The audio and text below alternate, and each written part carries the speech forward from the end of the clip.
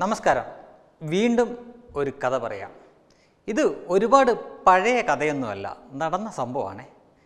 കേവലം ഒരു വർഷത്തെ പഴക്കം മാത്രമേ ഉള്ളൂ ഈ സംഭവത്തിന് അതായത് നമ്മുടെ ഇന്ത്യയിൽ ആദ്യമായി കൊറോണ വന്ന സമയത്ത് നമ്മുടെ ടീച്ചറമ്മ എല്ലാവരും ടീച്ചറമ്മ എന്നൊക്കെ ഇങ്ങനെ വിളിച്ച് പാടി പുകഴ്ത്തുന്ന ടീച്ചറമ്മ ആരോഗ്യമന്ത്രി എന്ന നിലയിൽ അവരുടെ പ്രവർത്തനം അത്യാവശ്യം മികച്ചത് തന്നെയായിരുന്നു. അത് തീർച്ചയായിട്ടും മികച്ചത് തന്നെയായിരുന്നു. കോൺഗ്രസ്സുകാരോട് ചോദിച്ചാലും ബി ജെ പിക്കാരോട് ചോദിച്ചാലും ഒക്കെ ആ ഒരു ഉത്തരം തന്നെയായിരുന്നു. അത്യാവശ്യം നന്നായിട്ട് കഷ്ടപ്പെടുകയും ചെയ്തു അവർ. അപ്പോൾ ആദ്യ സമയത്ത് കൊറോണ വന്ന സമയത്ത് ഇന്ത്യയിൽ അന്ന് നമ്മുടെ പ്രധാനമന്ത്രി തന്നെ രാജ്യം മൊത്തം ലോക്ക്ഡൗൺ പ്രഖ്യാപിക്കുകയും അതിനുശേഷം ഈ ശൈല ടീച്ചർ എല്ലാ ദിവസവും വൈകുന്നേരം വന്നിരുന്ന് പത്രസമ്മേളനം നടത്തുകയൊക്കെ ചെയ്യായിരുന്നു അങ്ങനെ ഓരോ ദിവസം കഴിയുന്നതോറും ഇവരോ ഇവരോടുള്ള ആളുകളുടെ ആ ഇഷ്ടവും ബഹുമാനവും സ്നേഹവും ഒക്കെ കൂടിക്കൂടി വരികയും ടീച്ചറമ്മ എന്നുള്ള പേരും അവരെപ്പറ്റി പല കാർട്ടൂൺ വരുന്നു പല പാട്ടുകൾ വരുന്നു അങ്ങനെ വളരെ നല്ല രീതിയിൽ പോയിക്കൊണ്ടിരിക്കുകയായിരുന്നു. ആ സമയത്താണ് കുറച്ച് സംഘികൾ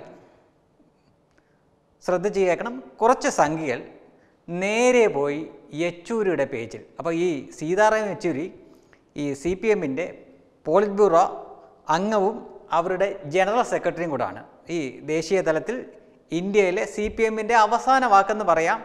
അങ്ങനെയാണ് വെപ്പ്. ഇപ്പോൾ അങ്ങനെയല്ലെങ്കിലും അദ്ദേഹത്തിന്റെ പേജിന്റെ താഴെ ചെന്നിട്ട് ശൈലജ ടീച്ചറെ മുഖ്യമന്ത്രിയാക്കണം എന്ന് പറഞ്ഞിട്ട് കുറേ കമന്റുകൾ ഇങ്ങോട്ട് ഇടാൻ തുടങ്ങി. അപ്പോൾ അദ്ദേഹത്തിന്റെ പേജിനുള്ള ഒരു പ്രത്യേകത എന്ത് എന്തെന്ന് വെച്ച് കഴിഞ്ഞാൽ ആകെപ്പാടെ നൂറോ നൂറ്റമ്പതോ പേര് മാത്രമേ അതിൽ ലൈക്ക് അടിക്കാറുള്ളൂ. അദ്ദേഹം ഒന്നാമതേ ഇംഗ്ലീഷിലാണ് പോസ്റ്റ് ഇടുന്നത് വല്ലപ്പോഴും ഒക്കെ ഇടത്തുള്ളൂ.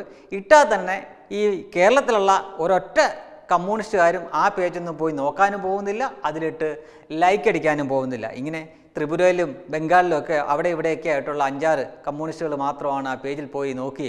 ഒന്നാമത്തെ കാര്യം ആ പേജിൽ പോയി നോക്കി ഇതൊക്കെ വായിക്കണമെങ്കിൽ ഇംഗ്ലീഷ് മനസ്സിലായിരിക്കണം.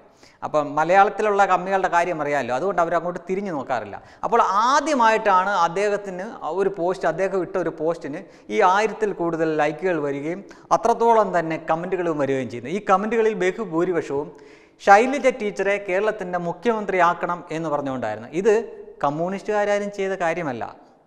ഇത് കൃത്യമായ ആസൂത്രണത്തോടെ സംഘികൾ ചെയ്ത പരിപാടിയാണ്.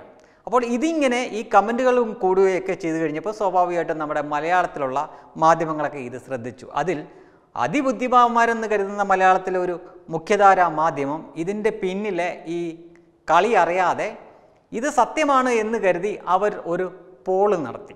അതായത് കേരളത്തിൽ മുഖ്യമന്ത്രിയാവാൻ ആഗ്രഹിക്കുന്നത് ആരെയാണ് എന്ന രീതിയിലാണ്. അത് പിണറായി വിജയൻ വേണോ അല്ലെങ്കിൽ ശൈലജ ടീച്ചറെ വേണോ എന്നുള്ള രീതിയിൽ അവരൊരു പോൾ നടത്തി. ഈ പോളിന്റെ റിസൾട്ട് എന്നത് എഴുപത്തിയഞ്ച് ശൈലജ ടീച്ചറിനും ഇരുപത്തിയഞ്ച് പിണറായി വിജയനും എന്ന രീതിയിലാണ് ഈ വോട്ടെടുപ്പ് അവസാനിച്ചു അവസാനിച്ചത്. അതിന്റെ പിന്നിലും കമ്മികളല്ല. അതിന്റെ പിന്നിലും കൃത്യമായും സംഖ്യകൾ തന്നെയാണ് ഈ ശൈലേ ടീച്ചറിന് കൊണ്ട് വോട്ട് ചെയ്ത് ഈ എഴുപത്തി അഞ്ച് ഇരുപത്തി അഞ്ച് എന്നുള്ള നിലയിലാക്കിയത്. ഈ നിഷ്കളങ്കരായ കമ്മികൾ ഇതിന്റെ അകത്ത് പിന്നിലെ കളിയറിയാത്ത കമ്മികളൊക്കെ ചെന്നിട്ട് ശൈലേ ടീച്ചറിന് ഇട്ടവരുണ്ട് അതേപോലെ തന്നെ പിണറായി വിജയന് വോട്ട് ചെയ്തവരുണ്ട്.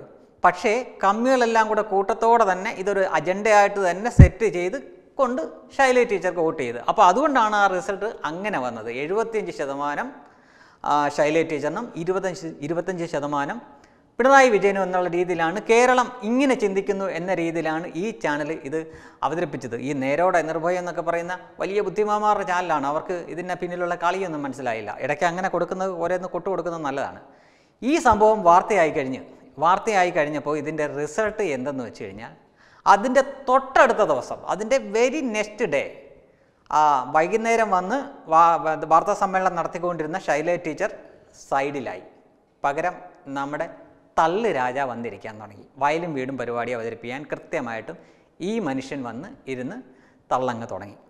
അതിനുശേഷം ഇന്ന് വരെ ശൈലജ ടീച്ചറിനെ കൊണ്ട് കമ എന്നക്ഷരം മിണ്ടിപ്പിച്ചിട്ടില്ല. അവർ ആ സൈഡിൽ വന്ന് നോക്കുകൂത്തി പോലെ ഇരിക്കും. ഇനി ഇപ്പുറത്ത് വേറൊരു മന്ത്രിയും കൂടി ഇരിക്കും.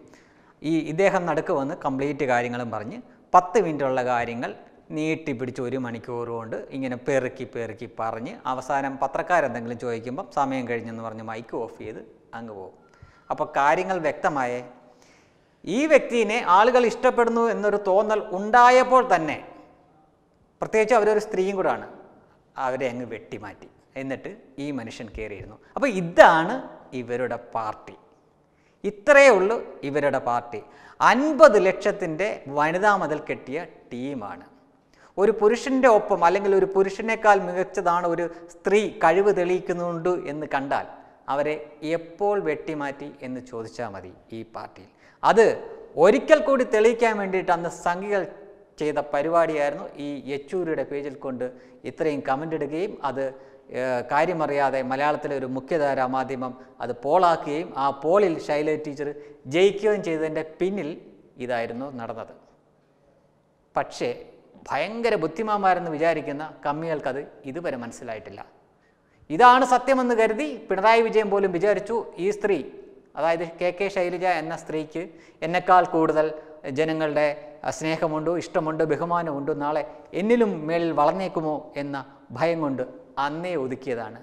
അപ്പോൾ ശൈല ടീച്ചർ ആ ശൈല ടീച്ചറെ മന്ത്രിസഭയിൽ വീണ്ടും ഉൾപ്പെടുത്തും എന്ന് നിഷ്കളങ്കരെ നിങ്ങൾ കരുതുന്നുണ്ടോ? ഇതാണ് ഈ പാർട്ടി. ഇത് ആദ്യമൊന്നുമല്ല നമ്മളിത് കാണുന്നത്. കേരം തിങ്ങും കേരള നാട്ടിൽ കെ ആർ ഗൗരി ഭരിച്ചോട്ടെ ഭരിക്കട്ടെ എന്നൊക്കെ മുദ്രാവാക്യം വിളിച്ചിട്ടുണ്ട് വർഷങ്ങൾക്ക് മുമ്പ് അവർ. അവസാനം എന്തായി എന്ന് നമുക്കെല്ലാവർക്കും അറിയാം.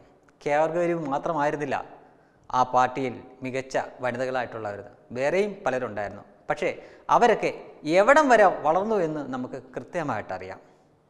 പിന്നെ വലിയ ദളിത് പ്രേമവും പ്രകടിപ്പിക്കുന്നവരാണ് ഇടതുപക്ഷക്കാർ. പക്ഷേ അവരുടെ പോളിറ്റ് ബ്യൂറോയിൽ നൂറ് വർഷമാവാൻ പോകുന്നു ആ പാർട്ടി ഇവിടെ രൂപം കൊണ്ടിട്ട്. ഇന്ന് വരെ അതിലൊരു ദളിത് മെമ്പറില്ല. ഇപ്പോൾ പറച്ചിലൊന്നോ പ്രവൃത്തി മറ്റൊന്നോ. ഇതിന് മറ്റെങ്ങും പോവണ്ട തെളിവിനായിട്ട്. ഈ മനുഷ്യൻ ആറു മണിക്ക് വന്നിരുന്ന് തള്ളി മറിക്കുന്ന ഈ മനുഷ്യൻ കൊറോണ പ്രോട്ടോകോൾ വെച്ചിട്ട് നമ്മളോട് പറയുന്ന ഓരോ കാര്യങ്ങളും അതിന് ഘടകവിരുദ്ധമായിട്ട് അദ്ദേഹം ചെയ്യുന്ന ഓരോ പ്രവൃത്തികളും മാത്രം മനസ്സിലാക്കിയാൽ മതി ഈ പാർട്ടി എന്താണ് എന്ന് മനസ്സിലാക്കാൻ. അപ്പം ശൈല ടീച്ചർ അതായത് ടീച്ചറമ്മ ഉറങ്ങിയിട്ടില്ല ടീച്ചറമ്മ ഉറങ്ങിയിട്ടില്ല സാർ എന്ന് പറഞ്ഞ ഒരു എം എൽ എ കോന്നിക്കാരനായ ഒരു എം എൽ എ കഴിഞ്ഞ വർഷം നിയമസഭയിൽ കിടന്നുണ്ട് അല്ലറി വിളിക്കുന്ന കണ്ട്. എന്തായാലും ഇനി ടീച്ചറമ്മയ്ക്ക് സമാധാനമായിട്ട് എത്ര നേരം വേണേലും വിശ്രമം എടുത്ത് ഉറങ്ങാം. അതിനുള്ള എല്ലാ പരിപാടിയും എല്ലാ പണിയും നമ്മുടെ ഇതിഹാസ രാജ ചെയ്തു വെച്ചിട്ടുണ്ട്. സന്തോഷമായല്ലോ. web dash Tatwainos.